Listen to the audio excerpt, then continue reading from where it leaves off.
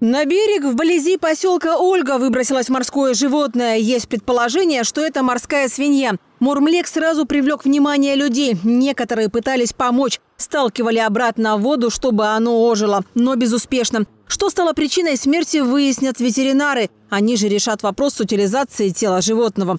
По словам местных жителей, произошедшее людей не шокировало. Случается, что морские обитатели прибиваются к берегу уже мертвыми.